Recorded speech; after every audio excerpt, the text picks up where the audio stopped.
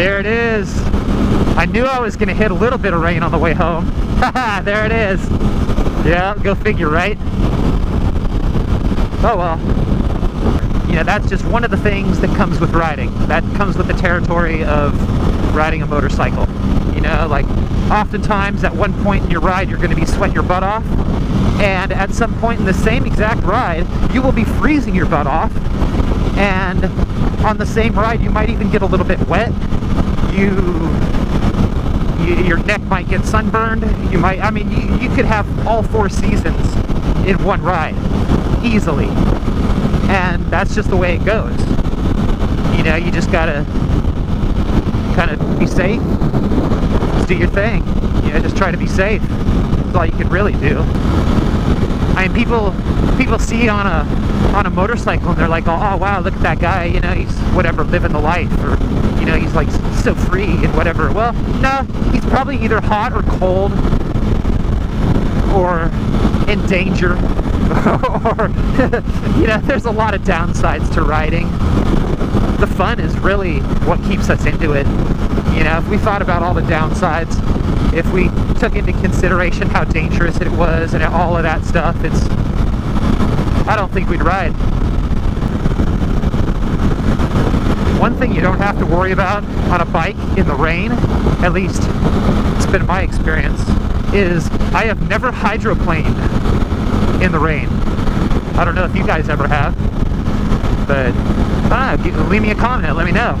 have you ever hydroplaned on a motorcycle? Because I, I don't think we can. I think our contact patches are way too small, and our tires, they're just, they're round and narrow. They're not flat and wide like a car tire that's gonna get up on top of the water.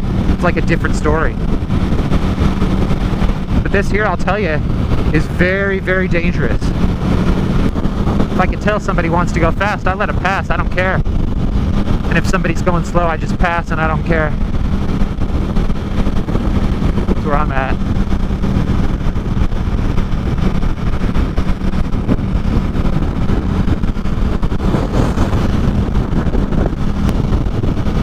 Only time when I have like noticeably lost traction like in the wet was uh getting off the freeway. Dude like an off ramp is like major especially if it's a short off ramp. And uh it's like the type of you know it's like you're getting off and it's normally where cars are sitting waiting for the light to change. There's going to be a lot of oil on the ground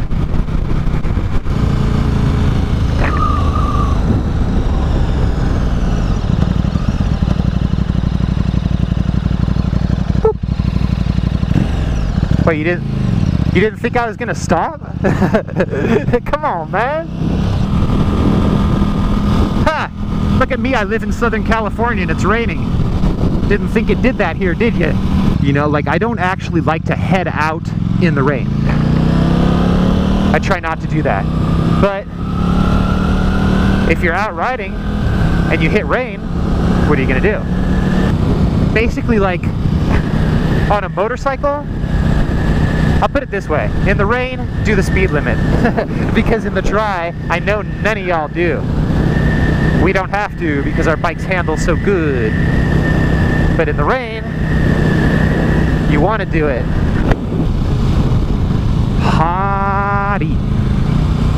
That's my rule for riding in the rain. It's just, just do it. You'll be glad you did. Feels good.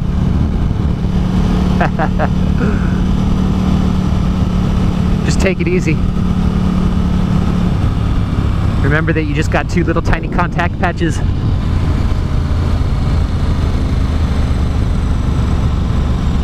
Like I've said before, in the rain, watch out for the paint, man. The paint, I swear, coming up to this, right there, the most dangerous part is when I'm hitting the brakes and I'm going over that word that says stop. you know, seriously, that if you hit a painted line, that is freaking